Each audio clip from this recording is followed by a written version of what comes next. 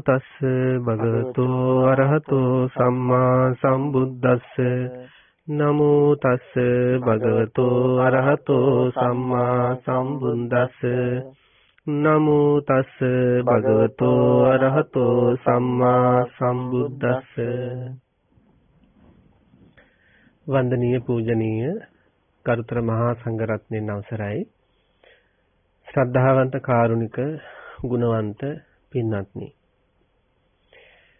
සම්මා සම්බුදු පියාණන් වහන්සේ මේ ලෝකයට පහළ වුණාට පස්සේ සම්මා සම්බුදු පියාණන් වහන්සේ ඒ ධර්මය මේ මහා සංඝරත්නය ආශ්‍රය නිස්සය කරන්න ලැබෙන සසරගත සත්වයෝ ඒ ත්‍රිවිධ රත්නත්‍රය ඇසුරු කරගෙන පිහිට කරගෙන සරණ කරගෙන මේ සංසාරික අසරණකම් වලින් නිදහස් වෙලා සදාකාලික සුවයක් වුණ නිර්වාණය සාක්ෂාත් කරගන්න අය බවට පත් වෙනවා. අපේ බලාපොරොත්තුවත් ඒකමයි. දේශනා කරන අපෙත් ඒ වගේම ධර්ම ශ්‍රවණය කරන පින්නතුන්ගෙත් එකම බලාපොරොත්තුව අසරණකම් වලින් නිදහස් වෙලා ස්ථීර සැනසීමකට පත් වෙන්න.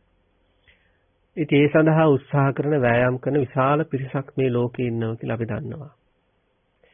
ඒ සඳහා උත්සාහ කරන වෑයම් කරන ඇත්තන්ට ඒ යහපත් දේ කර ගැනීමට උපකාරක ධර්මයක් විදියට උපකාර වෙන විදියට තමයි ඉන්ද්‍රකීලය දහම් කතිකාවත පිනුතුන් වෙත රැගෙන එන්නේ. අද අපේ දේශනාවට අපි බොහෝම වටින කාරණාවක් තමයි තෝරගත්තේ. අපේ පිනුතුන් දන්නවා අපි කලින් සතිවල ගෞරවනීය ස්වාමීන් වහන්සේත් එක්ක සම්මා දිට්ඨි සම්මා සංකප්ප සම්මා කම්මන්ත සම්මා වාචා සම්මා ආජීව සම්මා වායාමාදී ආරෂ්ඨායක මාර්ගයේ අංග පිළිබඳව සාකච්ඡා කළා කතා බහ කළා. අද අපට කතා බහ කරන්න තියෙන්නේ සම්මා සතිය පිළිබඳව. ඉතින් ඊටාම වැදගත් කරුණු රාශියක් අපේ ජීවිතේට ලබා දෙන අපේ කල්යාණ මිත්‍ර රාජකීය පඬිත් ඉදුරුහේනි ධම්මදේව ගෞරවනීය ස්වාමින් වහන්සේ අදත් අපේ මැදිරියට සහ සම්බන්ධ වෙන්නවා මේ පින්තුන්ට අපිට වැදගත් ධර්ම කාරණා රාශියක් ලබා දෙන්න පළමුවෙන්ම ගෞරවනීය ස්වාමින් වහන්සේ තාම ශ්‍රද්ධා ගෞරව පූර්වකව ධර්ම කතිකාවතට පිළිගන්නවා ස්වාමීන් වහන්සේ. ගෞරවනීය ස්වාමීන් වහන්සේ අද අපට කතා බහ කරන්න තියෙන්නේ සම්මා සතිය පිළිබඳව. සම්මා සතිය පිළිබඳව සාකච්ඡා කරන්න සූදානම් වෙන වෙලාවේ මට හිතෙනවා ඉස්සෙල්ලාම මේ සම්මා සතිය කියන්නේ මොකක්ද කියලා ස්වාමීන් වහන්සේ සහ ඒ සම්මා සතියේ තියෙන අවශ්‍යතාවය අපේ ජීවිතේට එහි වැදගත්කම මොන වගේද කියලා කතා බහ කරන්න. එහෙමයි අවසරයි. අතිගෞරවනීය පූජනීය වන්දනීය විනයාචාර්ය පුහුල්වැල්ලේ අපේ සාරද සාමින්ද්‍රයන්න් වහන්සේගෙන් අවසරයි. වන්දනීය පූජනීය මහා සංඝරත්නයන් අවසරයි කාරුණික පින්වතුනි. අපේ සතිය පිළිබඳව සාකච්ඡා කිරීමේදී විශේෂයෙන්ම සතිය කියන්නේ මොකක්ද කියලා අපි ඉස්සෙල්ලාම හඳුනාගත යුතු වෙනවා. බුදුරජාණන් වහන්සේගේ දේශනාව තුළ සතිය නිර්වචනය කරන්නේ නේපක්කේන සමන්නාගතෝ සති කියලා. නේපක්කේන සමන්නාගතෝ සති කියලා කියන්නේ විශේෂයෙන්ම නුවණින් යුතු සිහිය. නුවණින් යුතු සිහිය. එහෙමයි. එතකොට මේ නුවණින් යුතු සිහිය කියනකොට එතන තමයි සම්මා සතිය පිළිටන්නේ ස්වාමීන් වහන්සේ. එතන මේ සතිය කියන මේ ධර්මතාවය ගැන සාකච්ඡා කරනකොට සතිය කියන්නේ නැවත නැවත නැවත නැවත සිහි කර දීම. දැන් උදාහරණයක් විදිහට ගත්ත ස්වාමීන් වහන්සේ දැන්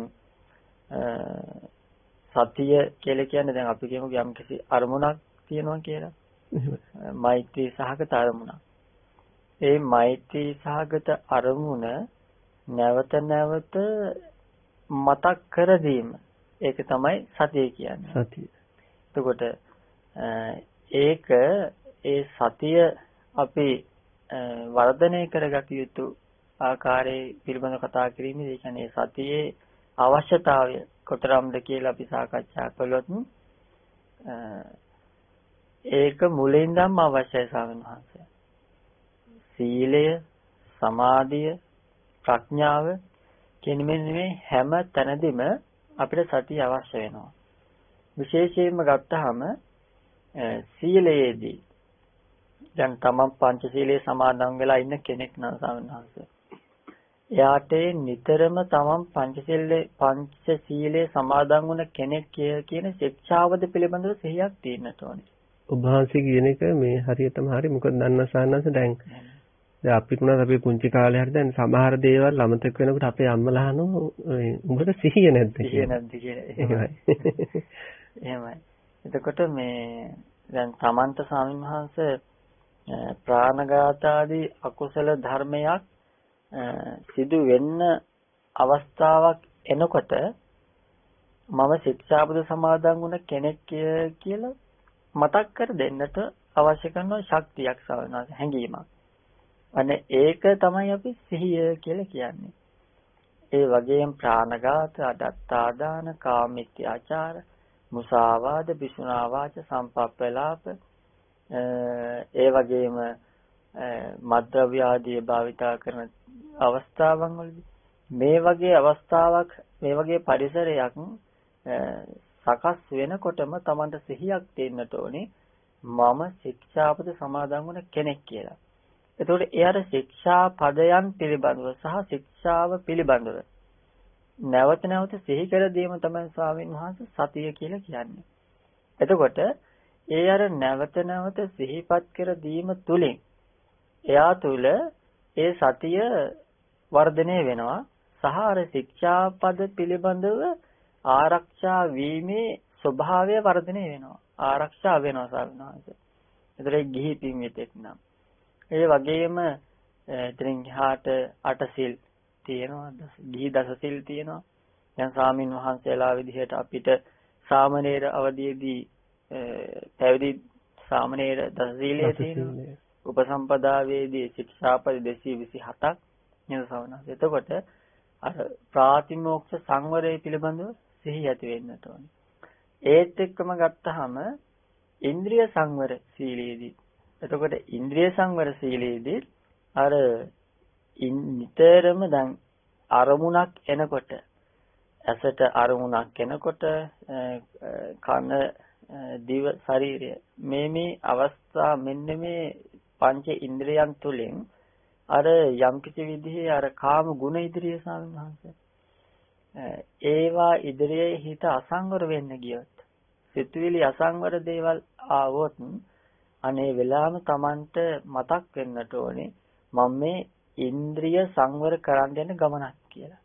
ඒ ඉන්ද්‍රිය සංවර කර ගැනීම තුළින් මේ කරන එක මේක වැරදි, ඒ කියන්නේ කරන වැරද්දක් කරනවා නම් ඒක වැරදි කියන තැන ඉඳගෙන අර මම මේ යන්නේ මේ අරමුණ අර අරමුණ නැවත නැවත මතක් කර දීම අපිට ඒ සිහිය ඒ අවස්ථාවෙන්දී විශේෂම උපයෝගී උපකාර වෙනවා සාමාන්‍යයෙන්. එහෙමයි සයනස මේ මේ අභිධර්ම එහෙම තියෙන්නේ මේ ඔබ වහන්සේ කියන එක හරියටම හරියට කොට. එහෙමයි. අකුසල ආරම්මණයෙන් කුසල ආරම්මණයෙහි يعني හිත අකුසල ආරම්මණයක වැඩ කරනකොට අකුසල ආරම්මණයේ වැඩ කරන හිත කුසල ආරම්මණයේ පිහිටුවන්නේ සතිය කියනවා. එහෙමයි සමහරවිට. ඒතර දැන් ඔබ වහන්සේ සඳහන් කළා කර දැන් අකුසල ආරම්මණයක් ඔස්සේ ඇහැ අසම්වර වෙන්න හදනකොට කුසල ආරම්මණය සිහිපත් කරලා කුසල ආරම්මණය පිහිටා ගන්න උදව් වෙනවා. උදව් වෙනවා. එතකොට ඒක ස්වාමීන් වහන්සේ මේ සීලයෙන් පටන් ගත්තාම දානයක් පූජා කරනකොට වුණා. ගමනක් බිමනක් යනකොට අපි ඉදිරියේදී සාකච්ඡා කරනවා ස්වාමීන් වහන්සේ පිළිබඳව වඩා දීර්ඝව. එතකොට ඒ වගේ අවස්ථාවන් වලදී මේ හැම තැනදීම අපිට මේ සිහිය අවශ්‍ය වෙනවා. මොකද මේ සිහියෙන් තොර නිවනක් අපිට වහන්සේ අපේක්ෂා කරන්න බෑ. ඒ කාන්තේම අපි මේ සිහියෙන් වාසය කළ යුතු වෙනවා. ඒ සිහියේ තියෙන අවශ්‍යතාවය බුද්ධ ශාසනයේ යම්කිසි කෙනෙක්ට ප්‍රවිෂ්ඨ වෙන්නට දේශනා කරනවද මූලික ආරම්භ කරන තැන එතනින් මේ අවසානයේ දක්වාම සිහියයි අපි වර්ධින යන ස්වාමීන් වහන්සේ. අවසාන අරමුණ දක්වාම සිහිය ඒ කියන්නේ නැවත නැවත ආවර්ජනය කරනවා. මම භික්ෂුවක්. මම නිවන් දකින්න වැඩ කරන කෙනෙක්. මම බෞද්ධ ශ්‍රාවකයෙක්. එතකොට මං කෙලස් තවන්න යන කෙනෙක් කියලා මෙන්න මේ හැඟීම ඇති වෙනවා සාමනස. ඊළඟට සමාධිය සාමනස. දැන් උදාහරණයක් විදිහට ගත්තාම මෛත්‍රී සහගත හැඟීමක් වර්ධනය කිරීමේදී එතකොට බුද්ධානුස්සති භාවනා වර්ධනය කිරීමේදී ඒ වගේම අසුභානුස්සතිය ආනාපාන සතිය. මේ හැම වෙලාවෙදීම අර තමන්ගේ අරමුණ ඉස්මතු කර ගැනීමක් නේ ස්වාමීන් වහන්සේ. අපි සමාධියක් ඇති කර ගැනීමෙන්දී බලාපොරොත්තු වෙන්නේ. එහෙමයි සන්නද ආනාපාන සතියදි කරන්නේ ආස්වාසයේ හිත පිහිටවනවා ප්‍රස්වාසයේ හිත පිහිටවනවා. එතකොට අර එකම අරමුණක හිත පිහිටවා ගැනීමක් තමයි සිද්ධ කරන්නේ. සමාධිය කියන්නේ එකම අරමුණේ සිත පිහිටුනාට පස්සේ ඇති වෙන ස්වභාවය. එතෙන්ට සිහිය උපකාරී වෙන. කියන්නේ අර නැවත නැවත නැවත නැවත අදාළ අරමුණ අපිට සිහිපත් කරලා දෙනවා. අපිට මතක් කරලා දෙනවා. දැන් අද දැන් සිහිය කියලා කියන ස්වාමීන් වහන්සේ දැන් අර අපි කියමු දැන් මෛත්‍රිය මෛත්‍රී සහගත හැඟීමක් කෙනෙක් වර්ධනය කරනවා කියලා. දැන් එතකොට ඒ මෛත්‍රී සහගත හැඟීමක් වර්ධනය කරන යාට මුලින්ම අමාරුයි. දැන් කවදාවත් භාවනා කළ නැති කෙනෙකුට මෛත්‍රී හැඟීමක් ඇති කරගත්තේ නැති කෙනෙක්ට ඇස් දෙක පියාගත්තේ ගමම්ම ඉන්නේ වෙන වෙන දේවල්. ඒ කියන්නේ කරපු දේවල්, කියපු දේවල් සමහර වෙලාවට කාම ආදී අරමුණු, ද්වේෂ සහගත අරමුණු, ලෝභ ආදී අරමුණු එන්නේ. ඒ දේවල් මැඩගෙන අර ඒ දේවල් එන්න දෙන්නේ නැතුවර තමන්ගේ අරමුණ අන මෛත්‍රී සහගත අරමුණ මතක් කරලා ඒක උඩට ගන්නවා සාමනවාස. ඒක උඩට අරගෙන ඒකම වර්ධනය කරනවා. ඒක තමයි අපි මේ සතිය කියලා කියන්නේ. එතකොට මේ සතියේ කාර්යභාරය ගත්තාම අවශ්‍යතාවය මේ සමාධියේදීත් අපිට බෙහෙවින්ම උපකාරී වෙනවා. අනිවාර්යෙන් උපකාරී වෙනවා මේ මේ භාවනාවේදී සමාධියේදී. ඒක ප්‍රඥාවේදීත් එහෙමයි සාමනාස. දැන් එතකොට ඔය ප්‍රඥාව ගැන සාකච්ඡා කරනකොට පාරිහාරීය ප්‍රඥාව. විදර්ශනා ප්‍රඥාව කියලා ಜಾති ප්‍රඥාව කියලා තුන අවස්ථා තුනක් පිළිබඳව සාකච්ඡා කරනවා. මෙතෙන්ද මේ පාරිහාරීය ප්‍රඥා ಜಾති ප්‍රඥාව කියන්නේ උප්පත්තියේම ත්‍රි හේතුක ප්‍රතිසන්දි ලැබීම. එතකොට පාරිහාරීය ප්‍රඥාව කියලා කියන්නේ මේ සිහියට සාවිනාස ඒ කියන්නේ දැන් මේ කාලේ ධර්මයේ ශ්‍රවණය කළ යුතුයි. දැන් මට ධර්මය අහන්න ඕනි කාලේ. ධර්මය සාකච්ඡා කරන්න ඕනි කාලේ. ධර්මය ප්‍රගුණ කරන්න ඕනි කාලේ. සිර රකින්න ඕනි කාලේ. භාවනා කරන්න ඕනි කාලේ. ඒව මතක් කරලා දෙනවා. ඒව මතක් කරලා දෙනවා ස්වාමීන් වහන්සේ. එතකොට ඒ මතක් කරලා දුන්න නැත්නම් ස්වාමීන් වහන්සේ Tamante අදාළ අරමුණට යන්න බෑ. එතකොට මේ සිහියේ අවශ්‍යතාවය මේ මුළු බුද්ධ ශාසනයේ හැම දෙයකදම තියෙන්නට ඕනි ස්වාමීන් වහන්සේ. එතකොට ඒ අර නැවත නැවත මතක් කර දීම තිබුණ නැත්නම් අපිට අදාළ අරමුණට යන්න බෑ. මොකද සාන්නස හැමතිස්සෙම ළඟින් අනිත් අය අපිට මතක් කරන්නේ නිසා මේක ඇතුලින් එකක් හදාගන්න ඕනේ. එහෙමයි. දැන් අපි උදාහරණයක් ගත්තාම දැන් අපි කෙලෙස් තවන්න යන ගමනක් කියන මේ අරමුණ අපිට ආවේ නැත්තම් ස්වාමීන් වහන්සේ අපිත් අර සමාජයේ යන විදිහට යන්න උත්සාහවන්ත වෙනවා. අපි මේ පැත්තටම નિરાයාසයෙන්ම යනවා. ඒ පැත්තට යන්න නොදී මගේ මේ මගේ මේ අරමුණ මගේ මේ අපේක්ෂාව මේ කෙලෙස් ධර්මයන් තැවීමේ අරමුණ කියන එක නැවත නැවත මතක් කරලා දීම තුළින් අර පැත්තට යම නවත්තලා මේ පැත්තේ අපේ දැඩිව ආරක්ෂා කරගෙන මේ පැත්තේ ඉන්න එක හේතුවක් වෙනවා. ඒකට අර සිහියේ තියෙන කාර්යභාරය ස්වාමීන් වහන්සේ අපිට එක තැනකට සීමා කරලා කතා කරන්න බෑ. ඒතර මේ ඒ අවශ්‍යතාවය හැම තැනදීම අවශ්‍ය වෙනවා. යම් කෙනෙක්ගේ සිහිය කොතරම් දුරට වර්ධනය වේද යම් කෙනෙක් කෙනෙක් තුළ සතිය කොතරම් දුරට තියෙනවද ඒ තාක් දුරට එයාගේ මේ ශාසනික ප්‍රතිපදාව සාර්ථක වේ. ඒ කියන්නේ සයන්නාස දැන් උභාංශය කියන විදිහට දැන් ඔය දැන් උභාංශ දේශනා කළා දැන් සිහිය කියන එක ටිකෙන් ටික ටිකෙන් ටික මේක පුරුදු කරන්න පුරුදු කරන්න මේ වර්ධනය වෙනවා කියලා. එහෙමයි. එතකොට එහෙම ඒ වර්ධනය වෙච්ච හැඟීම තමයි ඒකට සති ඉන්ද්‍රිය කියන්නේ. එහෙමයි ස්වාමීන් සති බල කියන්නේ. සති ඉන්ද්‍රිය ඉන්ද්‍රිය බලයක් බවටත් පත් වුණාට පස්සානස් ඒක ශක්තියක් නේ ආයුධයක් වගේ ආයුධයක් වගේ ඒක කරගන්න නම් ඔය ඔබහන් සඳහන් කළ විදිහට මේක ජීවිතේ පුරුදු කරන්න ඕන. එහෙමයි සවනස් දැන් අර ඇත්තටම සතිය කියලා කියන උදාහරණයක් විදිහට ගත්තාම මේ අර පාරක් දිගේ යම් අපි කියමුකෝ අපි සමාධිය වර්ධනය කරගන්න මූලික අරමුණක් විදිහට අපි සතිය උපයෝගී කරගන්නවා.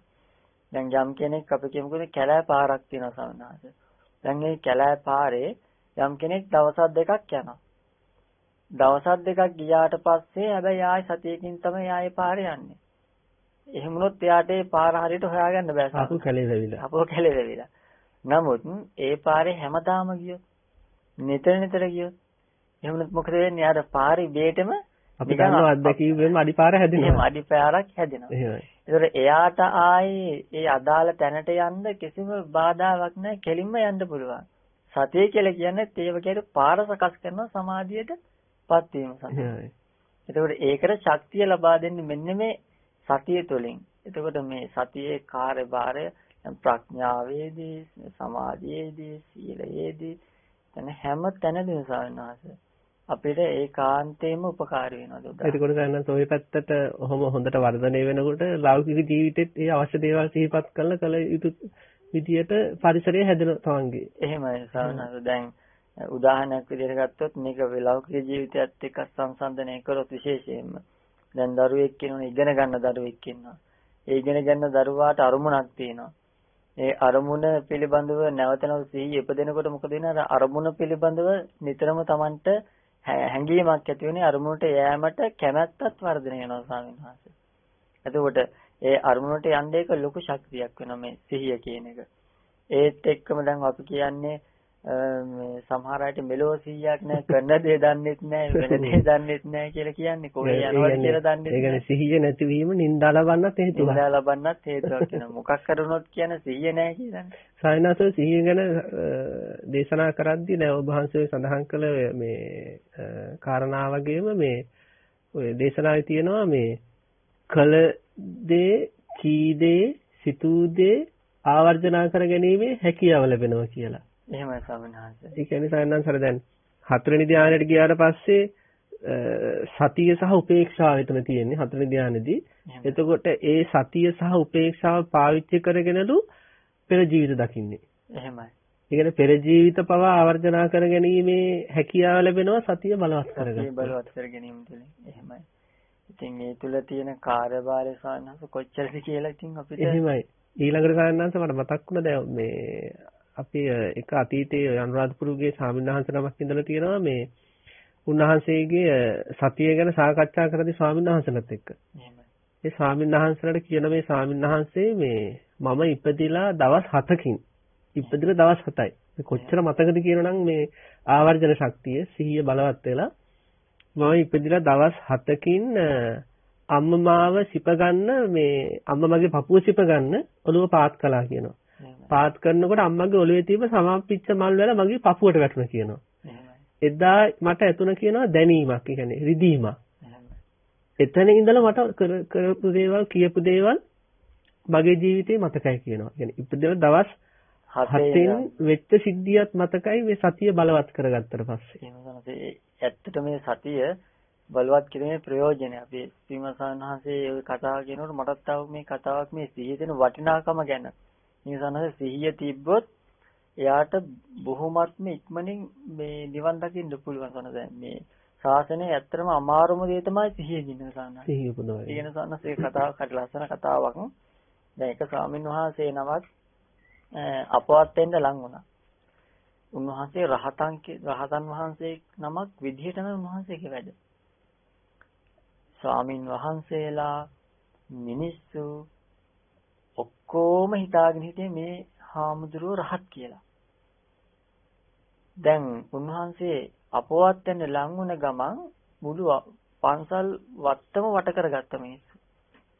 පන්සල් වත්තම වට කරගෙන දැන් මිනිස්සු බලන් ඉන්නවා මේ ස්වාමින් වහන්සේ පිරිනුවම් පානකොට මේ 이르දි ප්‍රාතිහාර පායි කියලා. මිනිස්සු ඔක්කොම බලන් ඉන්නවා. මේ ආචාර්ය බලන්න ඕනේ කියලා. රහතන් වහන්සේ නමකගේ පිරිනුවම් පෑම කියලා. ඒක ඉතින් මේ මේ ඇතම් රහතන් වහන්සේලා රහත් භාවයටපත් වුණාම මේ හැකියාවකුත් තියෙන රහතන් වහන්සේ ඉන්නවනම් එහෙම දීවිපාතිහාර නැති රහතන් වහන්සේලාත් ඉන්නවා. නමුත් අර මිනිසුන් ගිහිම ස්වාමීන් වහන්සේ තිබ්බ මේ අදහස් තිබිලා තියෙනවා. දැන් මේ ස්වාමින් වහන්සේ මේ මේ අපවත් වෙන්න ලඟ වෙනකොට ස්වාමින් වහන්සේ නමක් ඇවිල්ලා කියනවා ස්වාමින් වහන්සේ මිනිස්සු ඇවිල්ලා ඔබ වහන්සේ මේ රහත් තන් වහන්සේ නමක් පිරුණුවම් පාන යනවා කියලා මේ කතිකාවතක් ඇති වෙලා තියෙනවා කියලා සාර පිරුණුවම් පාන ස්වාමීන් වහන්සේ අපවත් වෙන ස්වාමීන් වහන්සේට කිව්වා. උන්වහන්සේ ඒ වෙලාවේ කිව්වා මේ ආයුෂ්මතුන් මම රහත් නැහැ කිව්වා. උන්වහන්සේත් පුදුම වුණා. අපිට හිතන් හිටිය ඔබ වහන්සේ රහත් කියලානේ කියලා. ඒක බලන දන සිහියේ යුතුව වැඩ කිරීමේ කොච්චරනම් තමන්ගේ බාහිර වෙනස් වීමක් සිද්ධ වෙනවද කියලා. ඊට පස්සේ කිව්වා හරි. එහෙනම් දැන් මේ ඔබ ඔබ වහන්සේලා ටිකක් එළියට යන්න කිව්වා.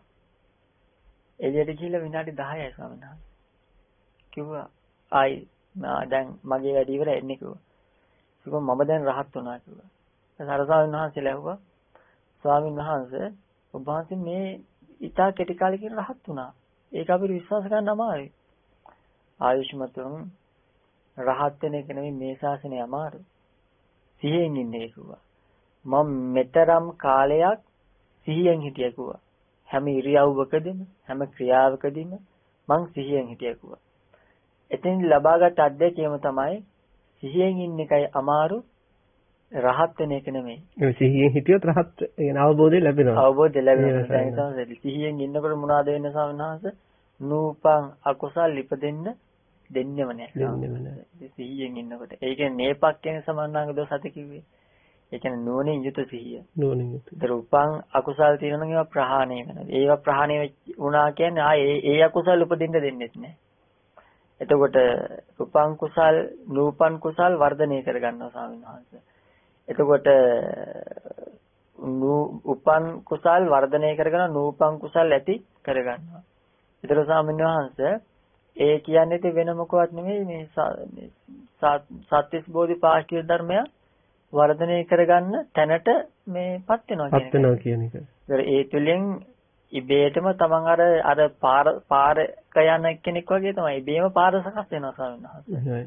එතකොට මේ සිහියේ තියෙන වටිනාකම එමටයි ස්වාමීන් ඒ ඒ අවශ්‍යතාවය එහි තියෙන කාර්යභාරයම බුද්ධ ශාසනය කියලා කිව්වත් අපි සාධාරණයි කියලා හිතනව නේද ස්වාමීන් එහෙමයි. මේ ඊළඟට දැන් අපි මේ බණහන පින්නතුරුත් දැන් මේක පුරුදු කරන අය දැන් ඔබ සඳහන් කළාගේ අපේ පින්නතුන්ට තේරෙන්නේ නැති ඇත්තට ප්‍රායෝගිකව මේ සිහිය වර්ධනය කරනවා කියන්නේ කොච්චර අපහසුද කියලා. එහෙමයි ස්වාමීන් ඒක දැන් ඔබ සඳහන් කළා ස්වාමීන් වහන්සේ කියන්නේ අර විනාඩි 10ක් ඇතුළත කියන්නේ තමන් තමන්ගේ අර සතිය තමන්ගේ නුවණ පාවිච්චි කරලා මේ නිවන් දැක්ක කියන්නේ එතකොට උතුමන් වහන්සේලා මේ එදිනෙදා ජීවිතේ සිහිය සමග කොච්චර කටයුතු කරලා තියෙනවද කියලා අපිට මේ හිතා ගන්න බැරි තරම් ඒ ශක්තිය සම්පාදනය කරගෙන. ඇත්ත දැන් අපි තව පැත්තක් සිහිය ගැන කතා කරනකොට දැන් සමාජයේ තව වැරදි මේකක් තියෙන ඒ කියන්නේ මේ දෙයක් අමතක වුණොත් එහෙම ඒක උක සිහිය නැහැ කියලා චෝදනා කරන ගතියක් තියෙනවා. ඒක සිහිය නැතිවීමක් නෙමෙයි නේද සානස අපි දැන් කියමුකෝ. මොකක් හරි භාණ්ඩයක් අරගෙන යා යම් තැනක ඒක තිබ්බා. ඒ තියපු තැන යාට මතක නැහැ මොකක් හරි හේතුවක් නිසා. ඒක අපිට සිහිය නැහැ කියලා චෝදනාවක් කරන්න පුළුවන් ස්වාමීන් වහන්සේ. එහෙම බෑ නේද? මං හිතන විදිහට. ඒතර අර සිහිය නැහැ කියලා කියන්නේ අර වගේ මේ නුවණින් යුතු සිහියනේ. අපිට මෙතෙන්දි ගන්න වෙන ස්වාමීන් වහන්සේ නූපන් අකුසල් ඉපදෙන්න දෙන්නේ නැතුව උපන් අකුසල් ප්‍රහාණය කිරීම නූපන් කුසල් උපදවා ගැනීම සහ උපන් අකුසල් වර්ධනය කර ගැනීම ආරක්ෂා කර ගැනීම ඒක තමයි සිහිය කියලා මේ ශාසනය තුළදී අපිට ගන්න පුළුවන්කම තියෙන්නේ ඊළඟ සානහස මම දැනගන්න කැමති මේ සතිය සහ සම්පජඤ්ඤය තුල ඇති මේ වෙනස පොඩ්ඩක් අපිට පැහැදිලි කරලා දුන්නොත් වටිනවා ස්වාමීන් වහන්සේ. එහෙම සානස දැන් අපි මේ ඒ ගැන ටිකක් කතා බහ කළා අපි දැන්. එහෙමයි. මේ දැන් සතිය කියලා කියන්නේ අපි කතා කළ විදිහට අකුසල ආරම්මණයකට හිත යනකොට කුසල ආරම්මණයේ පිහිටුවන් උපකාර වෙන සිතුවිල්ල හැඟීම. එතකොට මේ සම්පජඤ්ඤ කියන්නේ අපි දැන් කතා කර විදිහට ඔබ වහන්සේ සඳහන් කළේ සිහිය සමගියේ නුවණ කියලා. නුවණ. මේ දෙක අහස පොළොව වගේ වෙනස් ස්වාමීන් වහන්සේ. එතකොට මේ අපි මේක සායනාස අපි හිතුව ආනාපාන සති භාවනා කරනවා කියලා. දැන් ආනාපාන සති භාවනාව කරද්දී කරපු පින්නතුන්ට එහෙම තේරුම් ගන්න පුළුවන්. දැන් සායනාස අපි අර බාහිර ආරම්මන ඔස්සේ කාම වස්තු හෝ ක්ලේශ ධර්මයන් ඔස්සේ දුවන හිත අස්වාසේ පිහිටවනවා. ප්‍රස්වාසේ පිහිටවනවා. ආපු අස්වාස පිහිටවනවා. ප්‍රස්වාස පිහිටවනවා. ඒ කියන්නේ සතිය පාවිච්චි කරගෙන හිත කුසල ආරම්මනේ පිහිටවනවා. මෙහෙම කුසල ආරම්මනේ හිත පිහිටුව පිහිටුව පිහිටුව පිහිටුව ඉස්සරහට ගිය ශ්‍රාවකයා ඒ අරමුණ සාවින්නහංශ විදර්ශනාවට ගන්නකොට අපි කියනවා සම්පජඤ්ඤ කියලා. දැන් අපි හිතුව සාවින්නහංශ මේ වේදනාවට පස්සන පොඩ්ඩක් ගත්තොත් දැන් අපේ කායික වේදනා හට ගන්නවා අපිට. දැන් අපි කායට හිත අරගෙන කායික වේදනාවල හිත පිහිටවන්න උත්සාහ කරනවා. දැන් කායට හිත අරගෙන අපි උත්සාහ කරනවා දැන් කායික වේදනා අරමුණු කර කර අරමුණු කරගෙන ඉන්න උත්සාහ කරනවා. එතකොට අර ඔබ වහන්සේ කිව්ව විදිහට මේ වේදනාවල හිත පිහිටන්න පිහිටන්න පිහිටන්න සිහිය වැඩෙනවා. එතකොට මෙයාට පුළුවන් ඒ වේදනාවෙම සිහිය පිහිටුවාගෙන ඉන්න පුළුවන් මට්ටමකට හිත ගන්න. ඒක සාමිනාන සතියේ රාජකාරිය. වේදනාවේ හිත පිහිටුවාගෙන ඉන්න පුළුවන් විදියට කටයුතු කළා. සම්පජඤ්ඤ කියන්නේ සාවින්නාංශ ඒ වේදනාව අනිත්‍ය වශයෙන් දකිනවා. එහෙමයි අර ලබාගත් ඒ தত্ত্বය විමර්ශනය කිරීම විමර්ශනය කිරීම විදසුන් කිරීම. එතකොට වේදනාවේ හිත පිහිටුවා ගැනීම සතිය සති චෛතසිකයේ හැඟීම ඊළඟට ඒ වේදනා සිහිය පිහිටුවාගත්ත වේදනාව අනිත්‍ය වශයෙන් දැකීම සම්පජඤ්ඤය. ඒ කියන්නේ සායනාංශ අපි ඉස්සෙල්ලා වේදනාව අල්ලගන්න එපයි. එහෙමයි. දැන් අපිට දැන් මේ සුර තියෙන අඹ ගෙඩියක්. දැන් මං කියනවා මේ මේ අඹ ගෙඩිය පොඩ්ඩක් හොඳ නරකද කියලා බලන්න කියලා. එතකොට අපි ඉස්සෙල්ලා මේක අල්ලගන්න එපයි. අල්ලගන්න එපයි. අල්ලගෙන තමයි පෙරලන්නේ. හොඳද නරකද කියලා බලන්න. හැඩය බලන්න පුළුවන් වර්ණය ඕන එකක් බලන්න පුළුවන්. ඒ වගේ මේ අඹ ගෙඩිය අල්ලගත්තා වගේ තමයි මේ වේදනාව අල්ලගත්ත කියන්නේ. ඒක සතියේ වැඩේ. ඇත්තටම අමාරුම දේ ඒකනේ. අමාරුම දේ ඒක. අර ළඟට ළඟට ගත්තට පස්සේ ඉතුරු ටික එච්චර අමාරු නෑ. ඊට පස්සේ මේ අල්ලගත්ත අඹ ගෙඩිය ඊට පස්සේ පෙරල පෙරල බලනවා වගේ හොඳ නරක අල්ලගත්ත වේදනාව සතියෙන් අල්ලගත්තා. අල්ලගෙන ඉන්නවා දැන්. මොකද කරන්නේ මේක අනිත්‍යද කියලා බලනවා. මේක දුකද කියලා බලනවා. මේක අනාත්මද කියලා බලනවා. අන්න සම්පජඤ්ඤ. සායනන්ස ඕකට ලස්සන උපමාවක් අපිට ගන්න පුළුවන් මේ අපේ ගෙවල් දොරවල් වල තියෙන උපමාවකින්ම දෙයකින්ම මේ අපි දැකලා තියෙනනේ ගෙවල් වල තියෙනවා මේ පොල් ගාන මැෂිම තියෙනවා. මැෂිමනේ පොල් ගාන මේ හිරවන තියෙනවා. දැන් හිරවනේ වෙන්න මේ වගේ මේසයකට තමයි ගහන්නේ. ගැහුවට පස්සේ ওই පොල් ගෑම කියන සිද්ධිය වෙන්න නම් එක අතකට පොල් අඩලේ ගන්න ඕන. පොල් අඩලේ අරගෙන අරක ඔලුවට තියන්න ඕන. ඔය තියලා හොඳට අල්ල ගන්න ඕන. අල්ලගෙන ඊට පස්සේ මොකද වෙන්නේ කරකවන්න ඕන. එතකොට සතිය කියන්නේ පොල් අඩලේ අල්ලගත්තා වගේ. ඒ අදාළ අරමුණ අල්ල ගන්නවා. කය හරි වේදනාව හරි චිත්තය හරි ධර්මය හරි. පස්සේ නුවණින් කරන්නේ අනිත්‍ය වශයෙන් විමසනවා. දුක් වශයෙන් විමසනවා. අනාත්ම වශයෙන් විමසනවා. එහෙමයි. ඇත්තට සන්නාස ඒක නම් මේ නොතේරෙන්නේ නැහැ ඒ උපමාව මාර විදිහට ඒක දැන් ඒක හොඳටම පැහැදිලි වෙනවා. එහෙමයි. එතකොට දැන් මේ පොල් අඩලේ තියන්නේ නැතුව ගෑමක් ගැන කතා කරන්න බෑ වගේ අපි මෙච්චර වෙලා කතා කරපු සිහිය නැත්තම් සම්පජඤ්ඤයක් ගැන කතා කරන්න බෑ ස්වාමීන් වහන්සේ. يعني සිහිය තියෙන්න ඕන විදර්ශනාව කෙරෙන්නේ. ඒ නිසා කියනවා දැන් ශාසනය තුල සිහිය ඇතිතන නුවණ තියෙනවා. හැබැයි සිහිය නැති තැන නුවණ නැහැ කියනවා. මොකද සිහිය තියෙන්න මොන සම්මා සතිය කියන එක. ඉතින් ඒ විදිහට දැන් අපි හිතුව සායනස ගෝයන් කපන අවස්ථාව. දැන් ගෝයන් කපන අවස්ථාවක ගෝයන් කැපීම තමයි ක්‍රියාව. ගෝයන් කපන්න ඉස්සෙල්ලම අපි මිටි අල්ල ගන්න ඕන. පස්සේ අරකින් කපනවා. ඒ වගේ කාය වේදනා චිත්ත ධර්ම සිහියෙන් අල්ල ගන්න ඕන. අල්ලගෙන නුවණින් විදර්ශනාවට ගන්න ඕන. ඉතින් ඒ විදිහට මේ සතිය සහ සම්පජඤ්ඤ දෙක අතර ලොකු වෙනසක් තියෙනවා. ඊළඟට සායනාස හරි මේ වටින සූත්‍ර ධර්මයක් තිබ්බා. ඒ සූත්‍රයේ සඳහන් කරනවා මේ මේ සති සම්පජඤ්ඤ නැති කෙනාට මේ මේ ශාසනය තුල කිසි දෙයක් වැඩෙන්නේ නැහැ කියලා. ඒ කියන්නේ සායනාස දැන් අපි හිතමු දැන් අපි කතා කරපු එකක් ගත්තොත් දැන් ආනාපාන සතිය හරි නැත්තම් අසුබය හරි. මේ වගේ අපි හිතමු අසුබය කියලා සන්නස දැන් අසුබය තුලදී අපි කරන්නේ අසුබ කොටස් වල හිත පිහිටවනවා සති උපකාර කරගෙන.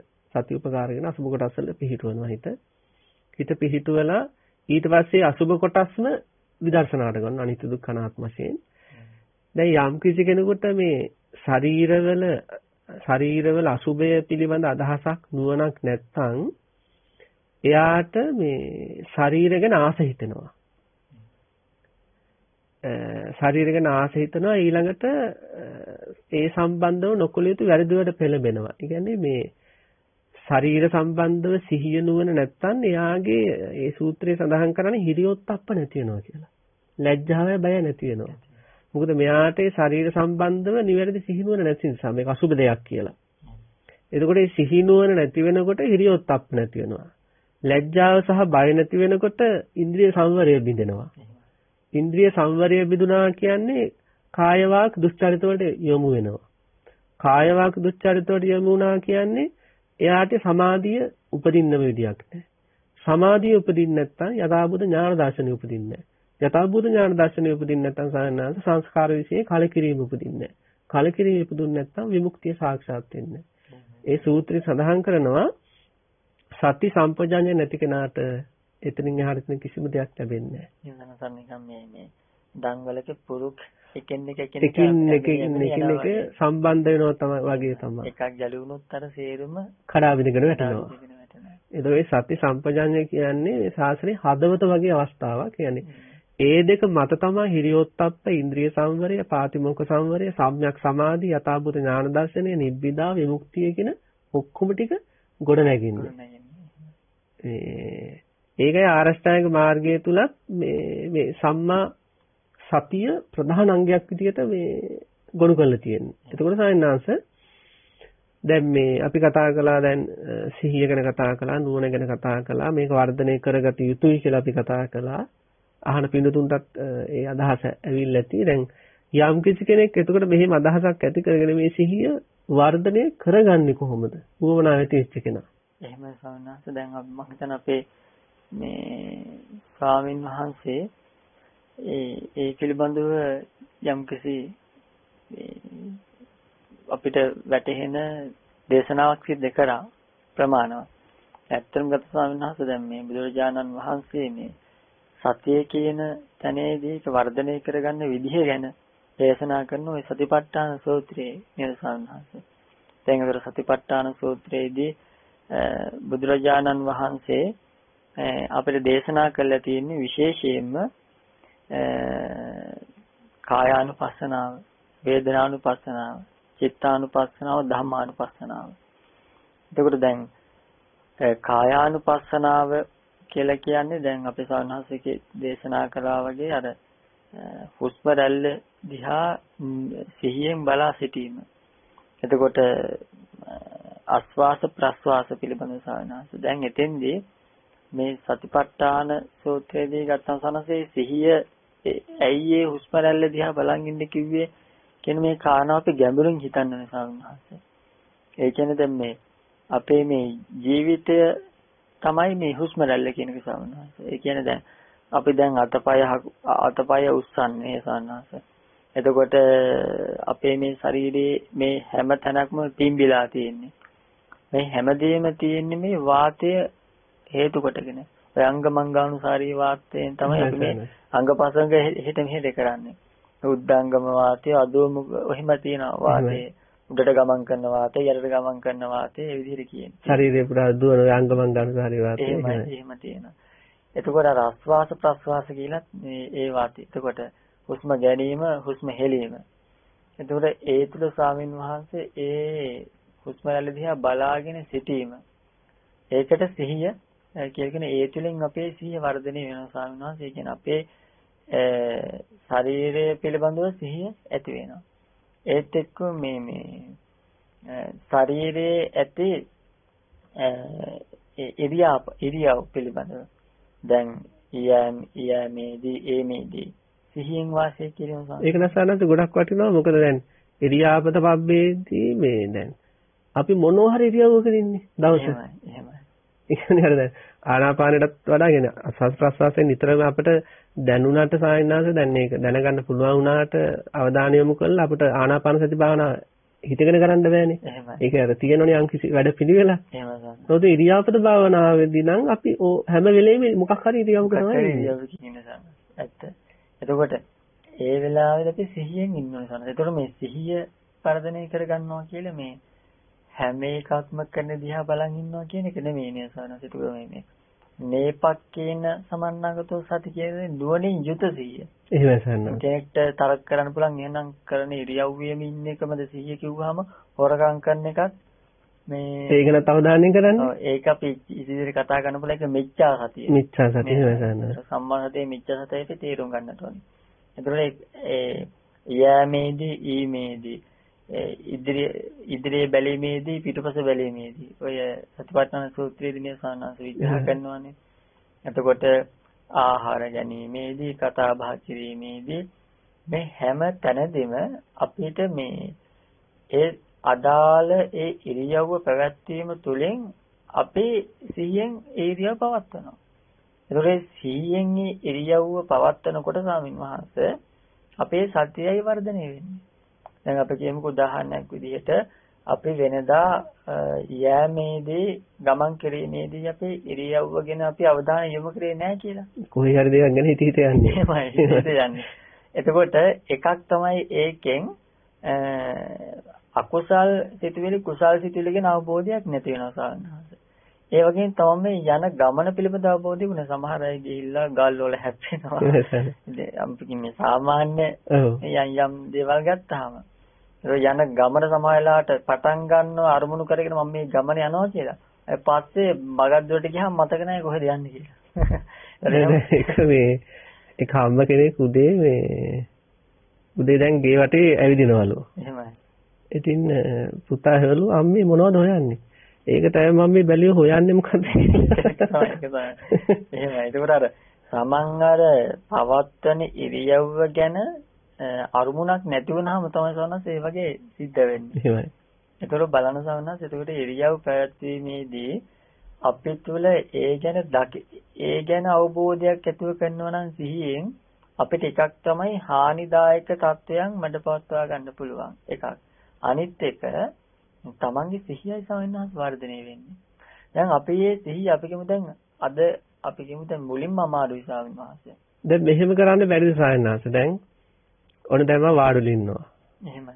මම දැන් වාඩුල ඉන්නවා කියලා කියන්නේ දැන් අර බාහිර ලෝකෙට දුවන හිත මේ පැත්තට දාගෙන අවධානය යොමු කරගෙන මම දැන් වාඩුල ඉන්නවා කියන වගේ අවධානයෙන් ඒ ගැන හැඟීමෙන් ඉන්නවා. ඊළඟට මේ ඒක සායනද මෙහෙම දෙයක්ද දැන් ඔය දැන් සමහර අය මම ලස්සනයි කියලා හිතන කට්ටිය ඉන්නේ. එහෙමයි. දැන් එයාලා වාඩුවල හිටියත් එයාලට හිතේ හැමතිස්සෙම වැඩ කරනවා මම ලස්සන කෙනෙක් වගේ අදහසක්. එහෙමයි. ඒ ඒ ලස්සන ගැන අදහසක් තියෙනවා. ඒ වගේ මේ කය ගැන අර වගේම හැඟීමකින් ඉන්නත් පුළුවන් ඇති එහෙනම්. එහෙමයි. ඉදිරි සනස ඒක මිච්ඡා නේද සන්නහස ඒකට. එතකොට ලා තමයි ලස්සනයි කියලා හිතාගෙන ඉන්නවා. එහෙම මං කිව්වේ. ඒ කියන්නේ දැන් අන්න ඒ වගේ ගැන දැන් ලස්සන කෙනා හැමතිස්සෙම නැගිටින්නෙත් ඒ වගේ හැඟීමකින්. මම ලස්සන කෙනෙක්, වාඩි වෙන්නේ ලස්සන කෙනෙක් වගේ හැඟීමකින්. ගමන් බිමන් යන්නේ ලස්සන කෙනෙක් වගේ හැඟීමකින්. බලන්නේ කියන්නේ ලස්සනයි කියන වගේ හැඟීමකින්. Tamange ඇතුළේ එහෙම හැඟීමක්. දැන් ඒ වගේ ඔබ කියන්නේ ඇතුළේ ඒ ලස්සනයි කියන හැඟීම නෙමෙයි මේ සතිය කියන එක සතිය කියන එක. පිහිටුවාගෙන යන අපිට වාඩි වෙලා සිහියෙන් අර වගේ ඉන්න පුළුවන්. එහෙමයි සාරණත් එහෙමයි. ලස්සනයි කියන අදහස නෙමෙයි කය ගැන සිහියෙන් හැඟීමෙන් අවධානයෙන් ඉන්න පුළුවන්. සාරණත්. එතකොට අර තමන්ගේ අර ඉරියව්ව ගැන අවබෝධයක් වෙනකොට ස්වාමීන් වහන්සේ තමන්ගේ ඉරියව් බොහොම පිළිවෙලට පවත්වන්න එහෙමයි. ඒක හේතුවක් වෙනවා. දැන් අපිට ස්වාමීන් වහන්සේ විදිහට අපිට බුදුරජාණන් වහන්සේ දේශනා කරනවා නෝ සිවුරු පෙරවීමේදී හැඳීමේදී වාඩි වීමේදී අපේ සිවුර දැන් තැනක වාඩි වෙනවා නම් අපිට නිතරම සිහිය තියෙන්න ඕනි අපේ සිවුර පිළිවෙලකට තියාගෙන වාඩි වෙන්න. ඒක සාමිනහසර අර තමන්ගේ ඉරියව්ව ගැන අවබෝධයක් නැතුණා. මම දැන් මේ වාඩි වෙන්න යන්නේ. මම වාඩි වුණා කියන මේ හැඟීම නැති වුනහම අපිට ඒ ගැන අවබෝධ සිහියක් නැති වුණු සාමිනහස අපි කොහොම වාඩි වෙද කියලා දන්නේ නැහැ. කොහොම ඉදීද කියලා දන්නේ නැහැ. එහෙමයි. ඒතකොට මම දැන් කතා කරනවා. දැන් මම කතා කරනවා කියන මේ සිහිය නැති වුණොත් එහෙම ඒ කියන්නේ දැන් ඉබේ ඔහේ කතා වෙනවා. නමුත් මොනවද කතා කරන්න කියලා අවබෝධයක් එන්නේ නැහැ. ඒත් එක්කම සනස කතා කිරීමේදී ඉඳ ගැනීමේදී යෑමේදී ඊමේදී මේ ඉරියව්ව පවත්වා ගන්නවා කියන පළවෙනිම දේ තමයි සාමනහස අර හිතේ විසිරු භාවය නැති කරනවා සාමනහස. දැන් අපි කියමුකෝ දැන් ඔය විශේෂයෙන්ම මේ මේ සක්මන් භාවනාවේදී දැන් අපි මේ බාහිර ලෝකයක් එක්ක මේ හිත නොඑක් අරමුණු කරා යනවා සානස. එතකොට අර ඒ භාවනාවෙන් කරන්නේ ඒ ලෝකෙටම විහිදී යන හිත එක අරමුණු ගන්නවා සානස. ඒ කියන්නේ ඇවිදීමේ වේදනාව විද විද ඇවිදිනවා. එතෙන්ට යාගේ මේ අරමුණ නැන් වෙනවා කියන අර අනිත් සේරම සිතුවිලි නෑ. දැන් උදාහරණයක් ගත්තාම දැන් ගත්තම සවන්හස දැන් අපේකම දැන් අපි මේ ඇවිදින ඉරියව් අපි ඉඳන් ඉන්නේ ඉරියව්ව ගැන අපි අවබෝධයෙන් දකිනවා කියලා. ඒ ගැන සිහිය උපදවා ගන්නවා කියලා. ඒ සිහිය උපදවාගෙන ඉන්නවා කියන්නේ සවන්හස අකුසලයන් වලට වෙනත් අර සිතුවිලි වලට ඉන්න ඉඩක් නෑ. ඉඩක් නෑ. එතකොට අර මේ මේක නිකන් අර එක පාරක් විතරක් කපලා ඒ පාරේ එකම මේ මේ එකම මිනිස්සෙකුට එන්න පුළුවන් එහෙම නැත්නම් එකම වතුර පාරකට එන්න පුළුවන් වගේ එහෙම සකස් කරගෙන එකම අරමුණකට හිත අරගන්නකොට ස්වාමීන් වහන්සේ එකම අරමුණේ ඉන්නකොට ඒ සිහිය ඇති වුනහම අර බාහිර නිකන් අර අපි කියන්නේ එහෙ මෙහෙ යන අරමුණු වෙන්නේ නැහැ. කොහොසයන්anse මේ හිතට එකම මොහොතක අරමුණු කරන්න පුළුවන් එකයිනේ. එහෙමයි සාහනා. දැන් දැන් ඔය සති සති සතිමත් භාවයෙන් දැන් දෙපාවල වේදනා පිළිබඳව අරමුණු කරන හිතට ඒ වෙලාවට වෙන එකක් අරමුණු කරගන්න බෑ නේ සායනාස. අපි දැන් අර ඉරියව්වක් ගැන හිතනවා නම් එකම විදිහේ අර අරමුණු මේ එක ළඟ එක ළඟ උපදවා ගැනීමක් තමයි සිද්ධ වෙන්නේ. එහෙමයි. එතකොට මේ ඒක නිකන් සම්තතියක් මේ සනස ගලා යෑමක් වගේ. ඒතර ගලා යෑමක් තමයි තියෙන්නේ එතන.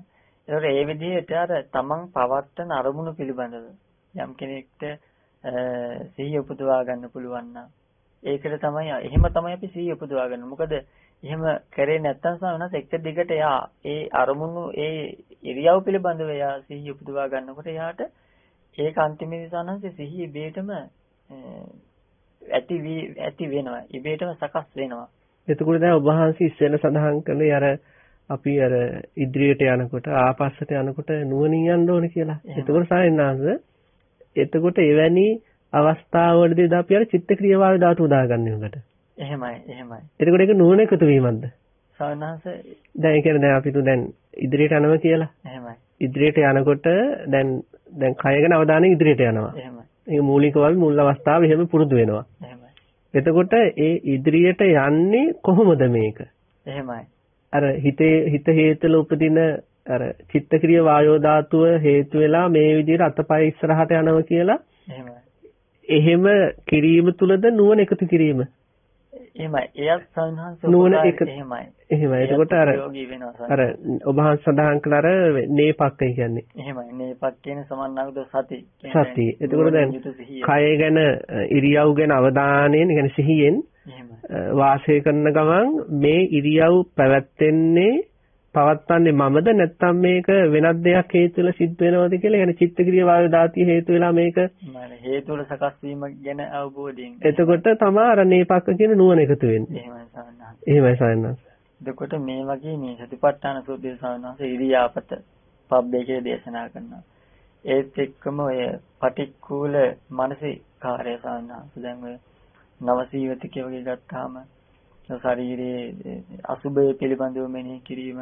ඒ වගේ මේ ශරීරයේ ඇති දෙතිස් කුණුපේ ගැන මෙනෙහි කිරීම නවසීවිතිකය ගත්තාම අර මරණයටපත් වීම තනින්දන් අර උද්දුමාතික විනීලක විකුබ්බක ওই විදිහට ඒ විදිහට මෙනෙහි කිරීම සතිය වර්ධනය වෙන සාවනාසය. එතකොට එහෙම අපි සතිය වර්ධනය කරගත යුතු වෙනවා. ඒත් නිසානස් මේ වේදනානුපස්සනාව පිළිබඳව කතා කරාට පස්සේ මේ චිත්තානුපස්සනාව ගැන කතා කරනකොට මේ සරාගසිත සරාග හිතක් විදිහට දකින්න සානස. ඒක දැකීමේ තියෙන වටිනාකම මොකක්ද කියලා අපි තේරුම් ගත්තොත් දැන් සරාග හිත සරාග හිතක් කියලා දැක්කම ඒක ප්‍රහාණය කරන්න අපිට ඒක උපකාරී වෙනවා සානස. දැන් අපි දැන් අපේ හිතේ කාම අරමුණක් සිතුවිල්ලක් ආවට පස්සේ ඒක කාම අරමුණක් කියලා දැන නොගැනීම මත අපේ ලොකු හානි වෙන්න පුළුවන් සාමාන්‍යයෙන්. එහෙම නැති වුණාම තමයි මේ අපි විවිධ අකුසලයන් වලට යොමු වෙන්නේ. ඒකට කාම අරමුණ සරාගසිතක් දැන් මට ඇති වුණා කියලා දකින්න පුළුවන්කම තියෙන අර හිත දිහා බලන් ඉන්න කෙනා. අවධානයෙන් ඉන්න කෙනා. අවධානයෙන් ඉන්න කෙනා. ඒතර එහෙම වුණාම යාට ඒක දිහා බලලා ඒක ප්‍රහාණය කරන්න ඒක ප්‍රධානම හේතුවක් වෙනවා සාහන. සරසායනාසිකව වගේ මොකද්ද මේ මේ මේ සතියයි සම්පජඤ්ඤය. එහෙමයි. සතිය තිබ්බොත් තමයි කාමරුණක් කියලා ඒක අල්ලගන්න පුළුවන් වෙන්නේ සම්පජඤ්ඤය තුළින් ඒක අනිත්‍ය දුක්ඛ අනාත්ම විදිහට විදසුනට ගන්නවා. විදසුනට ගන්නවා සාහන. එතකොට සරාගසිත සරාගසිත විදිහට දකින්න පුළුවන්. මේ වේතරාගසිත සාමනස දැන් මේ මාස මා තුල තියෙන වේතරාගී සිතක් දැන් තියෙන කියලා ඒ එහෙම දකින්න පුළුවන්කම තියෙන අර සිහිය මේ සිතේ වර්ධනය වුණාට පස්සේ ඒ විදිහ සාමනස අපිට මේ සිහිය වර්ධනය කරගන්න පුළුවන්කමක් තියෙනවා. ඒ වගේම මේ ධම්මානුපස්සනාව ස්වාමීන් වහන්සේ. ඒතකොට පංච නීවරණ පිළිබඳව ඒ දැකීම මේ පංච නීවරණ හටගත්න අවස්ථාවක පංච නීවරණයන් කියලා දැනීම ඒ පිළිබඳව අවබෝධය ඇති කර ගැනීම. ඒකත් ස්වාමීන් වහන්සේ දැන් මගේ හිතේ කාමච්ඡන්දයක් ඇති වුණා. දැන් ද්වේෂ සහගත ව්‍යාපාදය ඇති වුණා. උද්ද උද්දච්ච කුක්කුච්ච ඇති වුණා. සමහර නොසන්සුන්තාවය තියෙන සාහනස. දැන් වල නොසන්සුන්තාවය හටගත්තට පස්සේ හිත වික්ෂිප්තයි. ඒ වෙලාවේ කරන දේ හිතා ගන්න බෑ. කරන දේ හිතා ගන්න බෑ. ඒ වුණාම අර Tamanට Taman කරන දේ හිතා ගන්න බැරුව නිකන් අපි කියන්නේ මේ මේ මේ අන්ධ භූතෝන ස්වභාවයක් කියලා. එහෙම සන්න. ඒ මුලා සිහියක් වගේ ඒක. එහෙමයි. එහෙම වෙන්න හේතුව ඇයි? ආ දැන් මගේ හිතේ උද්දච්චය ඇති වෙලා තියෙනවා. ඒක අකුසලයක් කියලා දකින්න සිහිය ඇති වුණාම සවනංශ ඒක අකුසලයක් කිය කියන හැඟීම ඇති වුණාම එයාට ඒක ප්‍රහාණය කරන්න ඒක ලොකු උපකාරයක් වෙනවා. ඒ විදිහට පංච නීවරණ ගැන අවබෝධයෙන් දැකීම පංචස්කන්ධ පිළිබඳව දෝදස ආයතන පිළිබඳව සප්ත බොජ්ජංග ඒ වගේම චතුරාර්ය සත්‍ය පිළිබඳව. මේ මෙනෙහි කිරීම ඒ ගැන සිහිය මතක් කර දීම ඒ දේවල් ස්පර්ශ කිරීම ඒ ගැන අවබෝධය ඇති කරගෙන ඒ නැවත නැවත විමර්ශනය කිරීම සම්මර්ෂණය කිරීම තුලින් අපිට සිහිය උපදවා ගන්න පුළුවන් අර කියන මේපක් කියන සමානාගත සති කියන තැනට යන්න පුළුවන් සාමනාස. මේ ධර්මතාවයන් ගැන හරියට විමසනවා කියන්නේ අපිට අර නේපක් කියන සමානාගත නුවණින් යුතු සිහිය අපිට පුදවා ගන්න පුළුවන්. ඒ කියන්නේ සායනංශ මේ කමටහන් විශේෂකම් මේ සතිපට්ඨාන දේශනාව කියනවා. ඒ කියන්නේ මේ අපිට මේ ඒ කියන්නේ විසඳුම් රාශියක් මෙතන තියෙනවා සිහි උපදව ගන්න. එහෙම තමයි බුදුරජාණන් වහන්සේ මේ විනයරකේ සතිමා කියලා සතිමා කියලා මේ දේශනාව කියන්නේ මේ සතියෙන් සිටීම නේද සතිපට්ඨානය කියන්නේ ඒකනේ ස්වාමීන් පිහිටුවා ගැනීම. සිහිය පිහිටුවා ගැනීම. ඒතකොට මේ සතිය වර්ධනය කරන බුදුරජාණන් වහන්සේ සතිපට්ඨාන දේශනා කළා කියන්නේ. ඒකනේ ස්වාමීන් දැන් ඔය ඔබ සඳහන් කළ විදිහට අසුබේ අසුබේ තුල ඉස්සරහට ගිහිල්ලා ආනාපානයේ තුල ඉස්සරහට ගිහිල්ලා දැන් අර අර තියෙන සාන්නංශ සමුදේ ධම්මානුපස්සී වය ධම්මානුපස්සී කියන විදිහට ඒ කියන්නේ ඒ ඒ දැන් කය නම් ඒ කය හේතුන් නිසා ඇති වෙච්ච එක හේතු නැති කා නිරුද්ධ වෙලා යනවා කියලා ඒ කියන්නේ ඒ වගේ මට්ටම් වලට ගියාමනේ අපි කියන්නේ සිහිය පිහිටුවා ගත්ත කියලා. එතකොට ඒ විදිහේ தත්වයකට එවැනි සිහිය පිහිටුවා ගැනීමකට එන්න මාර්ග රාශියක් මෙතන තියෙනවා කෙනෙකුට කැමැති කැමැති එකක් තෝරගෙන එහෙමයි සමහරවිට ඒ මේ මාර්ගයේ ගමන් කරලා තමන්ගේ සිහිය දියුණු කරගන්න පුළුවන්. පුළුවන් මේකෙන්. එහෙම මම මේ ඊළඟට දැනගන්න කැමති අපේ ස්වාමින් වහන්සේගෙන් මේ ගිහි ජීවිතයට මේ සතිය උපදවා ගැනීමෙන් ලැබෙන ප්‍රයෝජන ස්වාමින් වහන්සේ මොන වගේද අපිට අනුකම්පාවෙන් එහෙමයි. මේ ওই දේශනාවේ තියෙන සායනස් හරි වටින සූත්‍රයක් ඒ කියන්නේ මේ සිහිය පිහිටුවා ගැනීම තුළ වෙන ලොකු මේ යහපතක් යම්බපාලි සූත්‍රය මේ සූත්‍රයේ දවසක් මේ ආනන්දයන් වහන්සේ සංඝාවාස ඉන්නවා. ආනන්දයන් වහන්සේ සංඝාවාස වැඩි ඉන්නකොට සාරිපුත්යන් වහන්සේ දුර ඉඳලා වඩිනවා. ගමනක් ගිහලා කොහේ හරි. පස්සේ සාරිපුත්යන් වහන්සේ මේ සංඝාවාසයට ආවට පස්සේ වැඩියට පස්සේ ආනන්දයන් වහන්සේ අහනවා ස්වාමීනි මේ ඔබ වහන්සේගේ මේ ස්වභාවය හරිම ප්‍රසන්නයි කියනවා. වර්ණ సౌందර්ය යුක්තයි කියනවා. මේ විදිහට ටිකක් විස්තර කරලා මේ ඔබහන්සේ මොන වගේ විහරණයකින්ද මේ කාලේ ඉන්නේ කියලා අහනවා. එසකට සාරිපුත්යන් වහන්සේ දේශනා කරනවා මේ ඇවැත්නි ආනන්දමම කායानुපස්සන අධිපට්ඨාන තුළ වාසය කරන්නේ. මේ දවස්වල වේදනානුපස්සන අධිපට්ඨාන තුළ වාසය කරන්නේ. චිත්තානුපස්සන අධිපට්ඨානේ ධම්මානුපස්සන අධිපට්ඨාන තුළ වාසය කරන්නේ. එතකොට මට ওই සූත්‍රය බලද්දි හිතුනේ කෙනෙක් මේ සතර හතිපට්ඨාන තුළ ඉන්නවනම් එයා හරිම ප්‍රසන්නයි. දැන් අපේ නිවෙස් වල ඉන්න අපේ පින්නතුන්ට එහෙම ඇත්තටම තමන් එක්ක එකට ඉන්න කෙනේ සතිපට්ඨානේ වඩනවා නම් එයාගේ ලක්ෂණේ තියෙන්න ඕන. කියන සාරේ දැන් කායානුපස්සනාව වඩද්දී අවිද්‍යා දෝමනස් ආදී දුර වෙනවනේ සායනහස. ශෝක පරිදේව දුර වෙනවා. ඒතරට කොහොමද ඒතර ප්‍රසන්න චරිතයන් ඉන්නේ? වේදනානුපස්සනාව වඩද්දිත් එහෙමයි. සිහියෙන් නුවණෙන් වීරයෙන් ආතාපි සම්පජාන සතිමාවිනේ ලෝකෙන විතර කටයුතු කරද්දී වේදනානුපස්සනාව තුළ වෙන්නේත් අවිජ්ජා දෝමනස්සාදිය, ශෝක පරිදේව, දුක් දෝමනස්සාදිය ප්‍රහාණය වෙනවා. චිත්තානුපස්සනා ධම්මානුපස්සනා තුළ ඕක සිද්ධ වෙන්නේ. එතකොට යම් කිසි කෙනෙක් මේ වනහන පින්නතුන් අතර ඉන්නවා නම් යමෙක් සතිපට්ඨානය වඩන හොඳට. එයාට සතිපට්ඨානය වැඩිලා නම් සාහින්නහංශ. සාරිපුත්තයන් වහන්සේගේ ලක්ෂණේ තියෙන්න ඕන. එන ආනන්දයන් ඔව්. ඒ ඇත්තටම අපි අපි අපි හැමතිස්සෙම අනිත් අපිට අනිත්‍යය පේන එක ගැන අපි හිතනවානේ සයන්ස්. ඇත්තට අපි අනිත්‍යයට කොහොම පේනවද? ඒ ගැන හිතන්නේ නැහැ. ඒ ගැන හිතෙන්නේ නැහැ අපිට ඇත්තටම. ඇත්තටම සතිපට්ඨානෙ Tamanට වැඩුණා නම් ඒ කියන්නේ සතිපට්ඨානෙ Tamanට වැඩුණා නම් මේ අනිත්‍යයට Taman පේන්නේ මේ ප්‍රසන්න විදියට. සතිපට්ඨානෙ නොවැඩුණොත් තමයි අඬන්නේ. වැළපෙන්නේ. කංකිඳිරි ගන්නන්නේ. මැසිවිලි කියන්නේ. රණ්ඩු කරන්නේ. මොකද සතිපට්ඨානේ වැඩුණු දැන් සංඝයා වහන්සේලා ගත්තොත් මේ ශාසනය තුල අපි අතීතයෙන් කමු. උන්වහන්සේ සායන හරිම සමගීනේ. සමගී සුවදශීලී වාද විවාද නැහැ. එහෙනම් හරිම මේ දැන් මහතුරුන් වහන්සේලාගේ ජීවිතය එහෙම ගත්තට පස්සේ දැන් උදාහරණයක් ගත්ත සායනස් දැන් විශාකාගේ ජීවිතය විශාකාසිරි දේවිය සහ ඒ සාමියා මිගාර ඒ දෙනක පෞල් ජීවිතය හරි සාර්ථකයි. ඊළඟට අපේ මේ අනේපිර සිටුතුමා සාහිත්‍යතුමාගේ භාර්යාව මේ කවදාවත් රණ්ඩුවක් වෙලා තියෙනවා කියලා අපිට ආරංචි වෙලා නැහැනේ. ඒ කියන්නේ සතිපට්ඨානේ වැඩිච්ච අය ඒ අය. එතකොට ඇත්තටම ගෘහස්ත ජීවිතේ සාර්ථක කරගන්න ගෘහස්ත ජීවිතය කියන්නේ ආර්ථික ප්‍රශ්න තිබ්බත් සමාජීය ප්‍රශ්න තිබ්බත් දරුවන්ගේ ප්‍රශ්න තිබ්බත් ඒ ප්‍රශ්න හමුවේ ශෝක පරිදේව දුක්ඛ දෝමනස්ස නැතුව ජීවිතේ අරගෙන යන්න. මේ සතිපට්ඨානය වර්ධනය කිරීම කියන එක සායනාංශය. කියන්නේ සතිපට්ඨානේ මේ පැත්තේ වැඩනකොට අනිත් පැත්තේ ශෝක පරිදේව දුක් දෝමනස් නැති වෙනවා.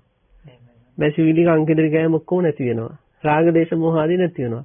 ඒතර හරිම ඕනම කෙනෙක් එක ජීවත් වෙන්න පුළුවන් චරිතයක් මතුවෙන්නේ එතන. මේ පැත්තෙන් සතුට සොම්නස එහෙම වර්ධනය. වර්ධනය කියන්නේ දැන් උභාස ඉස්සෙල්ල කිව්වේ සතිය වැඩ වැඩිම තුර සමාධිය වැඩෙනවා කියලා.